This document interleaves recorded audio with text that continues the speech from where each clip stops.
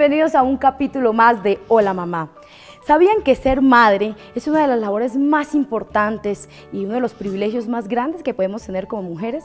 Pero hay que tener pendiente algo, no solamente las mujeres podemos hacer parte de la educación de nuestros hijos, también ustedes, los padres, los abuelos, los tíos, todo el círculo social, los que rodean a nuestros pequeñitos. Y para todas estas personas es que precisamente van dirigidos estos 30 minutos de información, las diversas temáticas que hoy trataremos en Hola Mamá. Así que esperamos que sean de gran utilidad estos útiles consejos.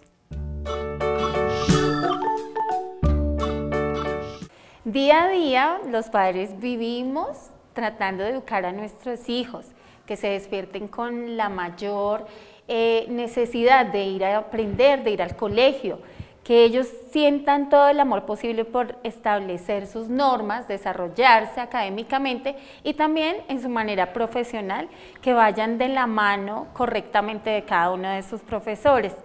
Nosotros debemos esforzarnos porque ellos quieran y deseen totalmente estudiar y aprender día a día muchas cosas, experimentar, querer saber lo que no saben, lo que no están acostumbrados a ver diariamente. Por eso nosotros siempre contamos con especialistas y como siempre nos ha colaborado la rectora de la institución Campus Pampuri, donde tienen un método de enseñanza bastante activo y bastante creativo para todos los pequeños y ayudan y los incentivan también para que ellos quieran aprender y no se despeguen de una buena educación. Doctora Luz Mari, nuevamente la saludamos, gracias por acompañarnos. Muchas gracias a ustedes por la invitación. Bueno, doctora, día a día tenemos un recorrido bastante interesante con nuestros hijos. Muchas veces para levantarnos es un proceso, para que ellos quieran venir a estudiar también es otro proceso. ¿Cómo podemos lograr como padres que ellos empiecen desde que se despiertan, quieran llegar a su colegio? Bueno, yo creo que una de las cosas es que no eh, siempre el entusiasmo que nosotros le ayudamos a poner a nuestros hijos eh, para que ellos puedan lograr mm, estar felices, pero a veces la felicidad eh, se, se vincula más con la satisfacción de un capricho y la felicidad está solamente no es solamente con el que yo logre muchas cosas y que todo me sea placentero. Eh, la felicidad también está dada es por aquello que yo alcanzo a lograr y con lo cual eh, yo despierto como conocimiento de mí mismo. Em, no hay cosa más bella cuando los niños se dan cuenta de, cuando ellos no logran algo y luego descubren y, y lo logran hacer, ya el niño se siente muy contento, ¿no? Creo que una de las cosas más importantes es ayudarlos a que ellos em, vayan descubriendo y saboreando ese gusto por, por, descubrir. Bueno, nosotros debemos también intervenir en saber qué quieren nuestros hijos y qué quieren conocer más. ¿Qué es lo que ustedes diagnostican acá en los pequeños? ¿Qué es lo que más les gusta experimentar? Mire, el niño por naturaleza es muy curioso. El niño desea descubrir, el niño desea ir más allá. Así que eh, no hay, digamos, un, un, estándar para decir a este le gusta más o a este no. Pero en general lo que sí podemos decir es que el niño tiene una curiosidad grande por descubrir, por, por, por mirar qué hay más allá eh, por esta razón, nuestro trabajo es facilitar que el niño no pierda este deseo por, por, aprender, por querer mirar qué, qué, está sucediendo. Por eso desde pequeños hay que ofrecerles todas unas posibilidades para que ellos em, experimenten y las actividades van desarrolladas a ser mucho, muy, muy, muy, muy experimentales que el niño curiosidad, que el niño se unte, que el niño mire, que el niño destruya, que el niño desbarate, que arme. Por esta razón el niño cuando está pequeño. Y pues cuando ya el niño está más grande, eh, en otro ciclo donde está aprendiendo ya lo formal, pues que el niño empiece a investigar y a descubrir qué es lo que sucede.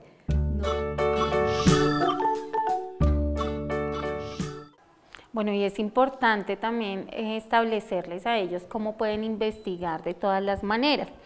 Mm, últimamente ha disminuido ese interés de nuestros hijos por aprender, por leer, por ir a una biblioteca, por estudiar, por conocer otras cosas. ¿Por qué ha disminuido tanto? ¿Será por em, estos nuevos eh, sistemas electrónicos, por las redes sociales, por otras actividades que los pueden a ellos desubicar un poco? Sí, mira, por ejemplo, eh, en este momento, pues el Ministerio de Educación pues está em, haciendo toda una gran campaña para que los niños eh, tomen el gusto por leer.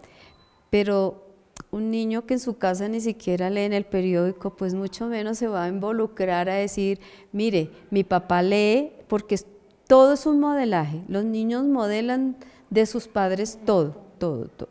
Entonces, si hay un hábito de lectura en la casa, pues los niños van a leer. Les va a dar el gusto, van a, adquirir el gusto por leer. Por ejemplo, los niños desde pequeños tienen esta curiosidad, cogen un libro y ya el simple hecho de ojear la revista, de mirar y le, ya están haciendo una lectura de imágenes. Ahí empieza la lectura. Entonces, muchas veces al niño se le compra un juguete muy caro, pero no se le compra un libro se le compra, se van a un lugar donde, ¿por qué no un día también poder, eh, estamos tan, eh, eh, todo el tiempo trabajando y, le dedicamos mucho tiempo que llega el fin de semana y no le dedicamos, aunque sea un momentico, ir a una biblioteca que hay actividades interesantísimas, lúdicas, interesantes, que los padres pueden compartir con sus hijos. Esa es una de las pautas más importantes que tienen los papás, que son el apoyo para la investigación de los niños. Cada papá si lee un libro y le dice, oye hijo, te invito a que me ayudes a comprender esta lectura. Vamos a las bibliotecas. Ahora las bibliotecas tienen espacios lúdicos para los niños que son interesantes y son gratis, que es lo más importante. Así que si es por cuestión de bolsillo, no debemos buscar ninguna, em, porque eh, excusas tenemos todo el tiempo como papás. Es importante que le ayudemos a nuestros hijos a tener cariño, así que ya hemos hablado de si nosotros les damos un ejemplo, ellos lo van a seguir de la mejor manera. Si nosotros les enseñamos a investigar más, ellos van a tener esas ganas de investigar. Pero ¿qué otros métodos hay para que ellos le tengan cariño a estudiar? Mire, una de las cosas que el niño eh, le coge el gusto a estudiar es cuando el niño aprende del error. Los niños cuando aprenden del error y se dan cuenta que, el error no es el, lo, lo, que lo va a aplastar, sino al contrario, cuando se da cuenta que hay algo de lo cual él debe prestarle atención y de lo cual él se equivoca, pero que él puede ir más allá, el niño empieza a adquirir un gusto por aprender y por estudiar.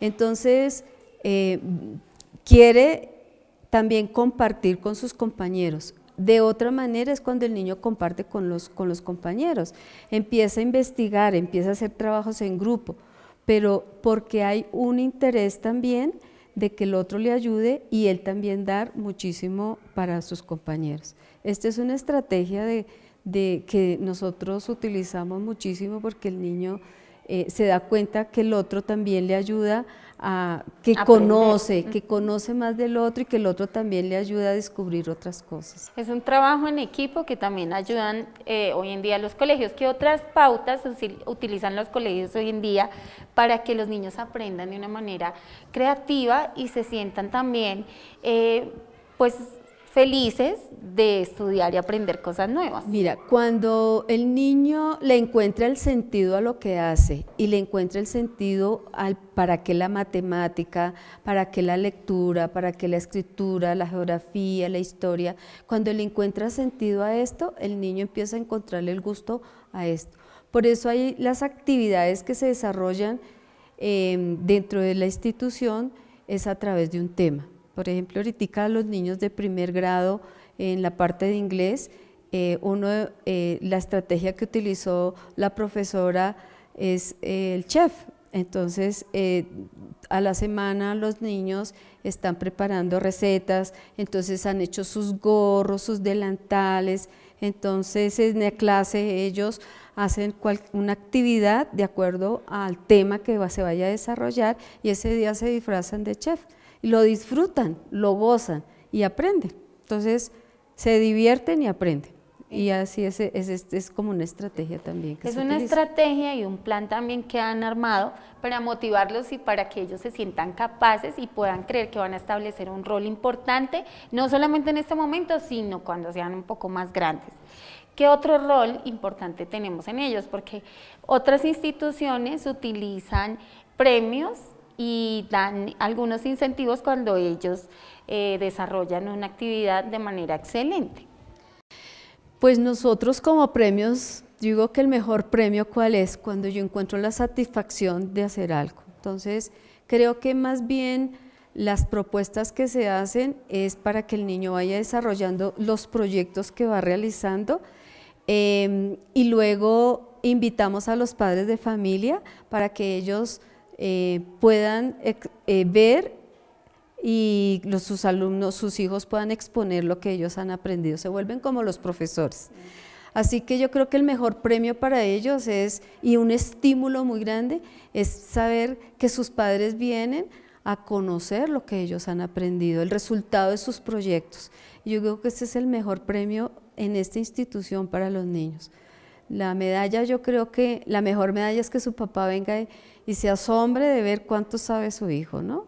Y eso es una cosa que a ellos sí los marca muchísimo y positivamente. Entonces siempre están como que ahora qué vamos a hacer. Dos palabras eh, muy concretas para definir este tema del día de hoy. Valorar, valorar todo lo que el hijo hace.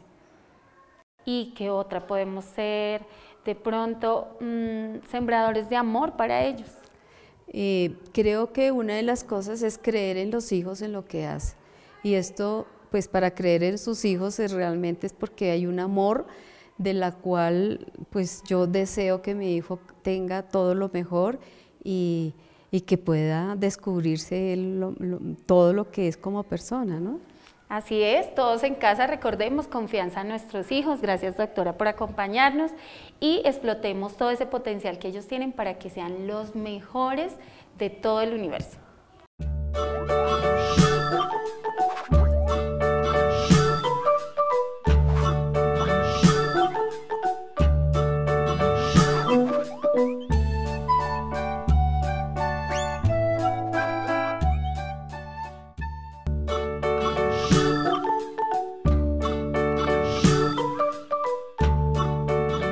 Hola mamá, el recomendado para hoy es venir con sus hijos y compartir un momento inolvidable en Diversity, en donde nosotros vamos a poder desarrollar competencias, habilidades para la vida, como la creatividad, el trabajo en equipo, los roles que son tan importantes y que Diversity se ha, encargado de que esto ayude mucho a los niños a imaginar, a pensar, a crear, a innovar, a hacer de cuenta de que están en un mundo diferente vengan a Diversity, acá vamos a trabajar con tus papás, vamos a desarrollar la creatividad, el conocer a sí mismo las competencias y habilidades que tenemos, el poder ser capaz de comunicarnos asertivamente, el trabajar la frustración, los sentimientos, todo esto por medio del Lego Education y su mundo Lego Education. ¿Por qué son importantes y por qué la Organización Mundial de la Salud los está exigiendo? Porque estas competencias son las que en una vida profesional, en una vida laboral, nos van a llevar a ser exitosos.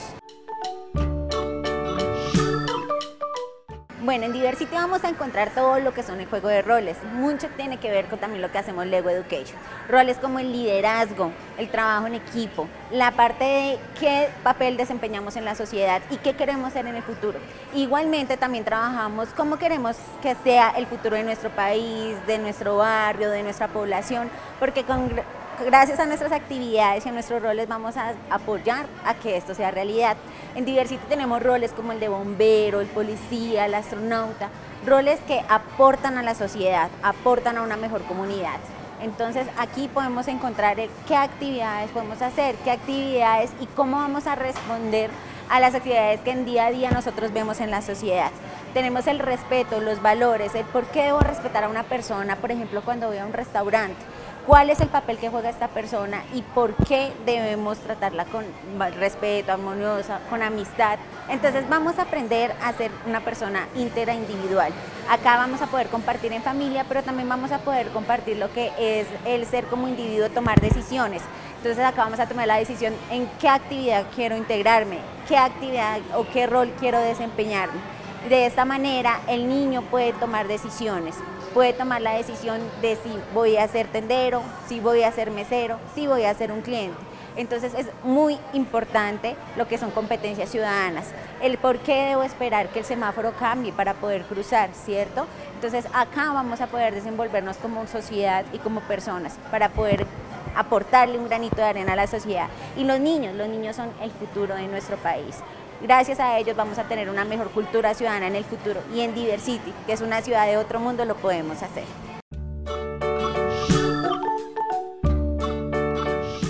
Bueno, desde Lego Education nosotros manejamos todo un proceso metodológico, pues porque somos educativos, en donde el niño tiene eh, la opción de crear al final, pero después de un conectarse con una película, con una actividad, ponemos retos, ponemos actividades donde vamos a desarrollar su pensamiento creativo. Acá no se trata de sigamos unas instrucciones nomás, acá se trata de que vamos a seguir un modelo, pero al último siempre vamos a crear después de comprender lo que ya hicimos. De eso se trata Lego Education, de la eh, comprensión, del desarrollo de pensamiento crítico, creativo, del poder compartir con un compañero, con un amigo y poder entre los dos hacer algo más grande en conjunto.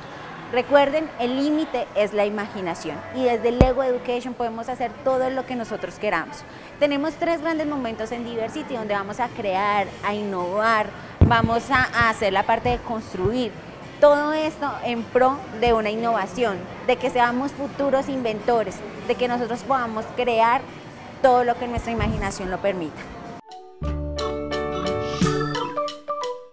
Lo más importante de esto, mamitas, es que en Diversity, este espacio, el Mundo Lego Education, fue creado para que ustedes puedan compartir con ellos. En este espacio, ustedes van a poder compartir con sus hijos las diferentes actividades. En las demás atracciones, ellos tienen que hacer pues, las actividades individuales. Acá en este espacio van a poder conocer un poco más a sus hijos, cómo se desenvuelven en otros entornos, cómo trabajan en equipo, qué competencias, habilidades y destrezas tienen ellos. Y asimismo, conocer un poco más sobre en qué son buenos para el futuro.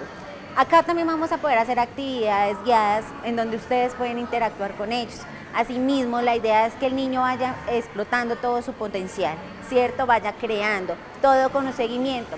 Nosotros desde que ellos nacen hasta prácticamente cuando son adultos, siempre estamos en compañía, siempre los estamos apoyando, acompañando y esto es un apoyo importante para el manejo de la frustración, de los sentimientos, para que ellos sientan que lo que están haciendo es importante para nosotros, para que ellos sientan que el aporte que están haciendo es importante para su sociedad. En Diversity, que es una ciudad de otro mundo, ustedes van a poder encontrar este espacio. Allí eh, van a poder compartir en familia, pueden compartir ellos también individualmente y pueden ver y observar cómo se comportan sus hijos en otros ámbitos.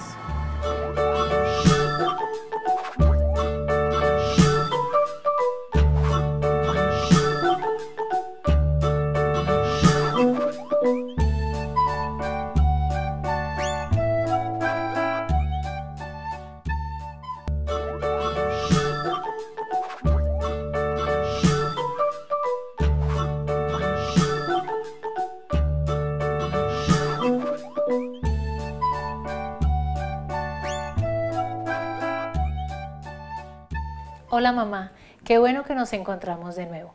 Hoy te quiero hablar de un tema que sé te va a interesar, la depresión infantil. ¿Has oído hablar de ella? Hoy te voy a hablar de más detalles que sé te van a servir y te van a ser de gran utilidad. Anteriormente, alrededor de los años 70 y 80, se consideraba que los niños no se deprimían, que la infancia era la mejor época de la vida o que la infancia era sinónimo de felicidad. Eso ya está reconsiderado y se ha comprobado en estos momentos que así no es. ¿Por qué? Porque los niños también se deprimen, los niños también sufren y muchos niños viven grandes episodios de amargura dentro del sistema familiar sin que nadie se dé cuenta. Te preguntarás si tu hijo o alguno de los tuyos es un niño deprimido. Hoy te voy a decir cómo identificarlo. La primera causa que tiene el niño con depresión es que es un niño irritable. Cuando los adultos nos deprimimos, sabemos que estamos deprimidos. Cuando el niño se deprime, no entiende ni sabe que está deprimido. Esto lleva a que el niño se irrite, se moleste, se ofusque. siempre esté inconforme, siempre esté haciendo caras de mal genio. Generalmente las personas no entienden que esto es un síntoma depresivo y piensan que el niño es de mal genio, incluso le ponen apodos o se burlan del mal genio del niño. Es importante que sepas que hay una gran diferencia entre la tristeza y la depresión. La tristeza todo la hemos experimentado y es consecuencia de una situación X que nos pasó y nos duele, pero es transitoria. Quiere decir que podemos estar triste unas horas, un momento o máximo un día. La depresión, a diferencia, es prolongada y se caracteriza por episodios de dolor y tristeza profunda en la que parece que la persona no va a salir de ahí. El niño que se deprime se irrita mucho porque no entiende qué le pasa. Está muy molesto y no puede ubicar la depresión en una parte del cuerpo. Eso es otro síntoma. El niño con depresión tiene muchas quejas somáticas. Quiere decir que trata de ubicar la depresión en alguna parte del cuerpo. Entonces este niño dice que le duele mucho el estómago, la cabeza, los pies, la espalda, pero en realidad no hay una enfermedad base que justifique esto. Se queja mucho de una supuesta enfermedad que no existe. Este es otro síntoma depresivo. También en su aspecto. Tú sabes, mamá, que un niño cuando es feliz se nota. Le brillan los ojos, se ríe mucho, se mueve mucho, molesta, hace bromas, es inquieto, pide cosas. El niño depresivo tiene un aspecto facial triste. Quiere decir que su mirada es baja, que su expresión, que no sonríe, que su mirada es triste, que no tiene ese brillo que tienen los niños. Quiere decir que en la cara se le nota.